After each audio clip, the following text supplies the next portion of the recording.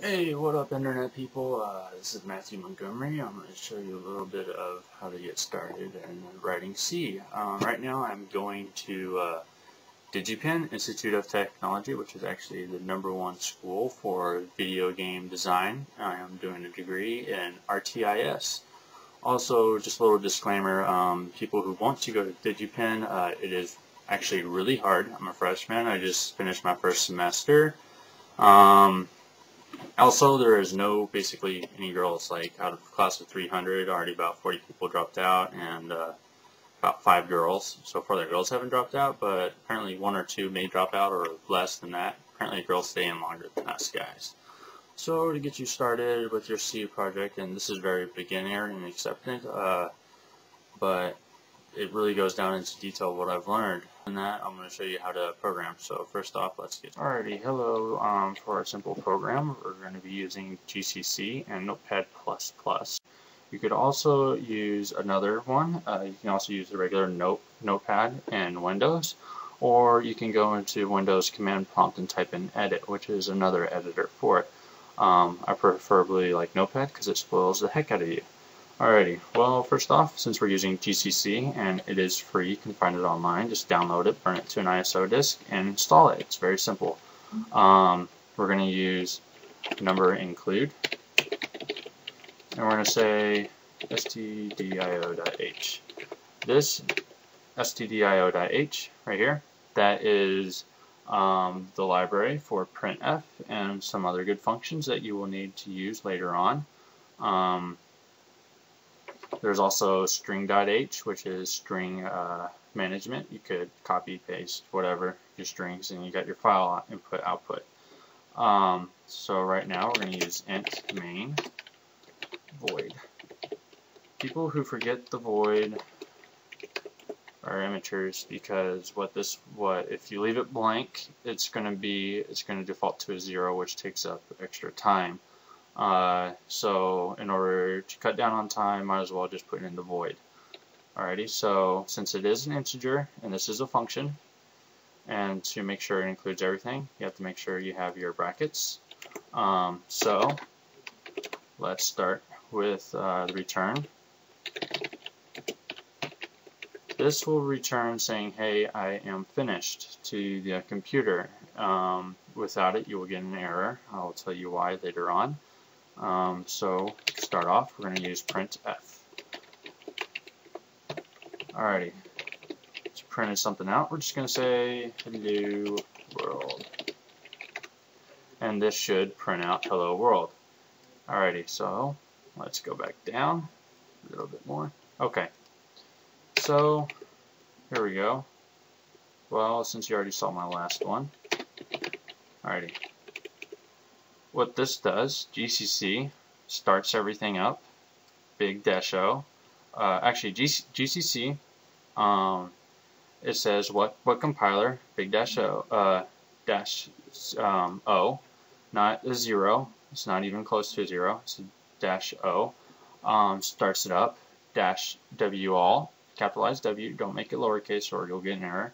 Uh, we'll find all the warnings not just like uh, the major ones, it'll do the little ones, which are actually pretty important. W dash error will turn all the warnings into an error. ANSI and Pedantic are optional. They're not necessary though, uh, so I'm not going to go into great detail about them. Uh, you specify what the file is, main.c.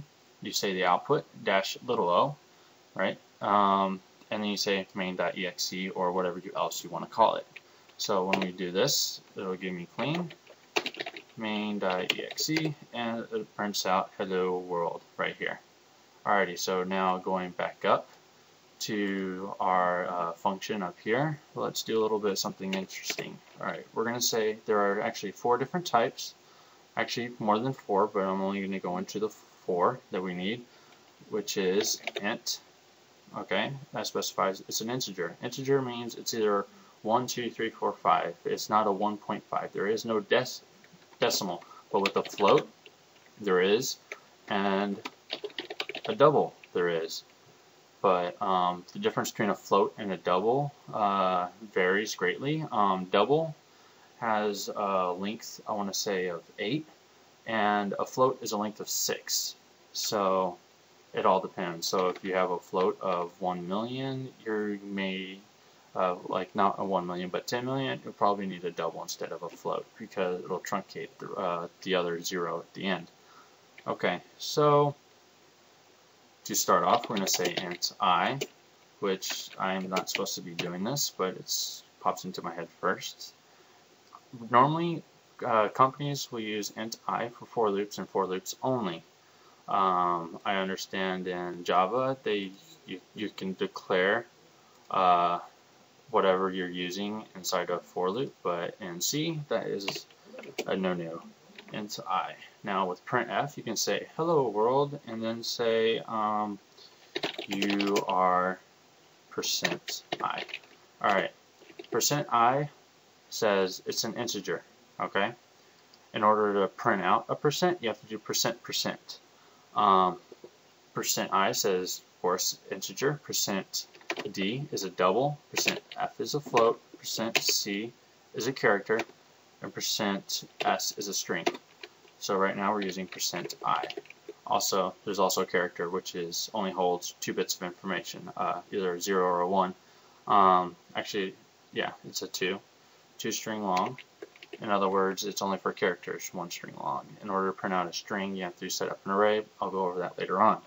So percent i, and make sure you include this, or it won't print it out. Percent i will actually go, okay, I got an integer, I need to find it. So it goes over to here and finds uh, your uh, integer, okay? Um, it goes in order, so if it's this one first, it'll do this one. If you had another percent, it'll go to the next one. Um, so you, you, you, just can't say percent %i and then say i and that's it. You can do, I mean, percent %i, percent %i, and then just have one i. It'll give you an error. Can't do that. It's no, no. Alright, so what this will do, it'll say, hello world, you are 0. Well, better. Okay, so going back down to here. Let's say, let's go back to our error warnings. Nothing happened, so let's say hello world. Oh, wait, my bad.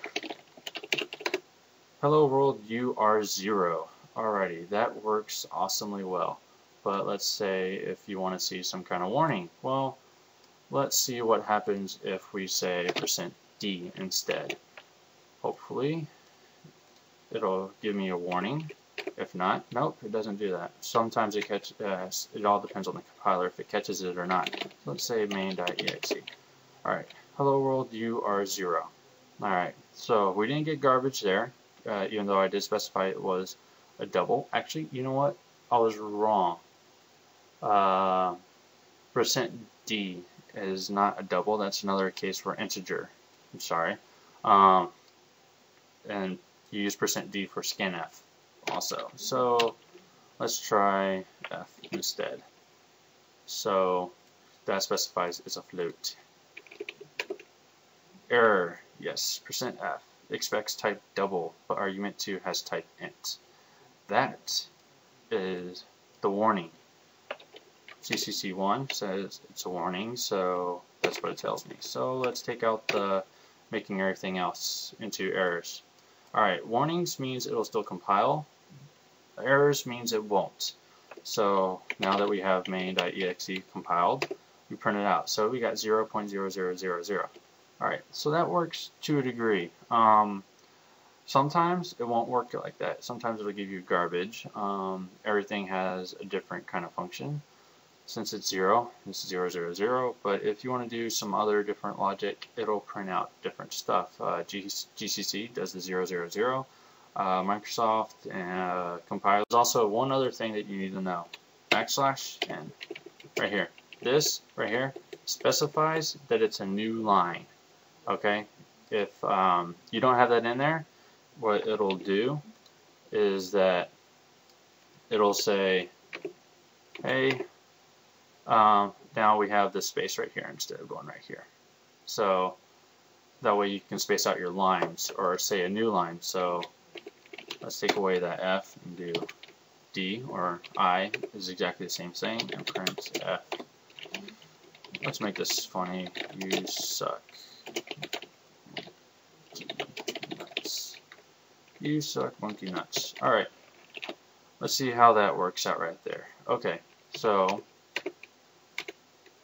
main.exe, hello world, you are zero, you suck monkey nuts. That's with the backslash n.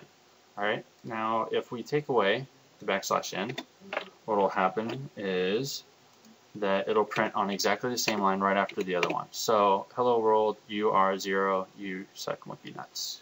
Alright, so backslash n is actually really important. Um, if you want to learn more, just go ahead and click over more. I'll be uploading a lot more later on. This also helps me out for studying. Uh, so have fun programming. It's actually very interesting, and good luck.